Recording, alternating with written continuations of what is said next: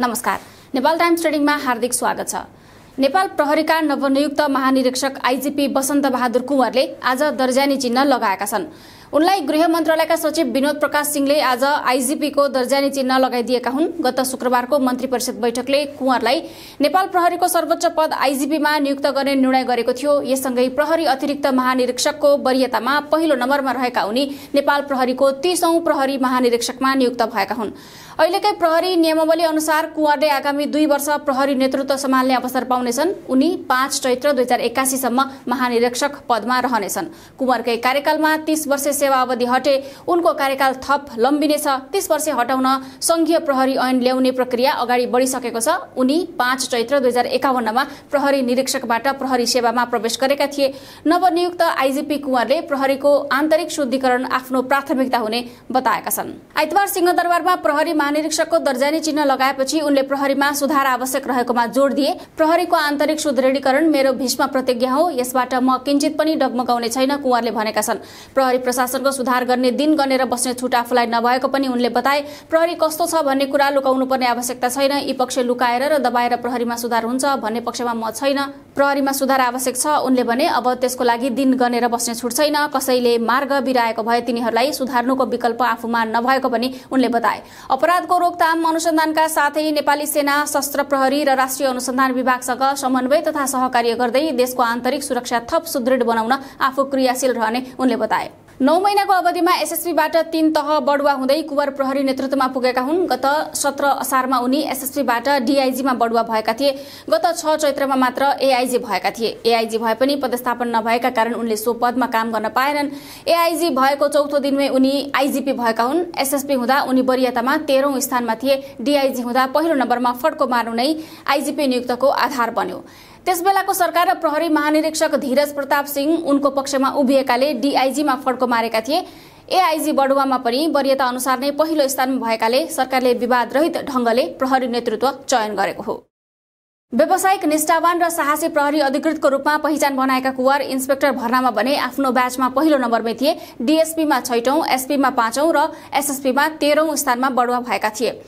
अठाइस वर्षको करियरमा कुवर खासै विवादमा नपरेका अधिकृत हुन्। यद्यपि डीएसपी हुँदा थुनुवालाई यातना दिएर मानव अधिकारको उल्लङ्घन गरेको आरोप उनीमाथि लागेको थियो। सो घटनाका कारण लाइबेरिया मिसनमा हुँदा उनी फर्काइएका थिए।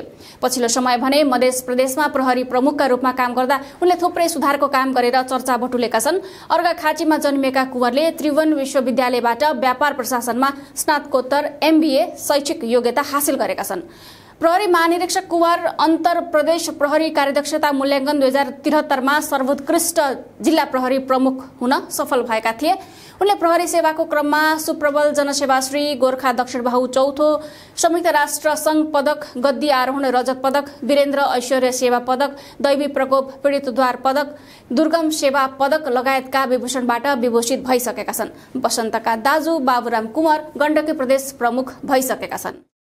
प्रहरी महानिरीक्षक कुमारले प्रहरी निरीक्षक र प्रहरी नायब उपरीक्षक हुँदा गुल्मी सुनसरी सिन्धुली मोरङ दाङ रोल्पा काठमाडौँ नवलपरासी र डोटीमा खटिएका थिए। प्रहरी नायब उपरीक्षकमा मनाङ गोर्खा धादिङको जिल्ला प्रहरी प्रमुखका रूपमा काम गरेका थिए भने प्रहरी उपरीक्षक भएपछि चितवन र नुवाकोट जिल्लाको कमान्ड गरेका थिए। प्रहरी वरिष्ठ उपरीक्षक भएपछि केन्द्रीय प्रहरी प्रवक्ताको जिम्मेवारी सम्हालेका उनले काठमाडौँ उपत्यका अपराध अनुसन्धान कार्यालय र प्रहरी युक्ति तालिम महाविद्यालय नवलपरासीमा काम गरेको अनुभव छ।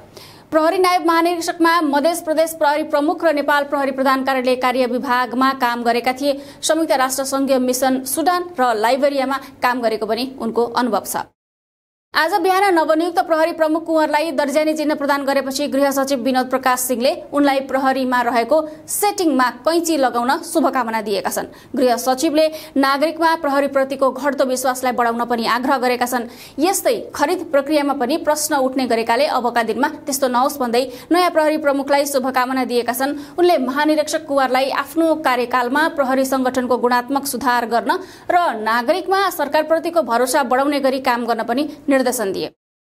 गृह सचिवले नै प्रहरीभित्र सेटिङ रहेको भ्रष्टाचार मौलाएको जनविश्वास कम हुँदै गएको बताउनु र त्यो कम गर्न शुभकामना दिनुले सहजै अनुमान लगाउन सकिन्छ कि प्रहरी संगठन हाल कुन अवस्थामा छ।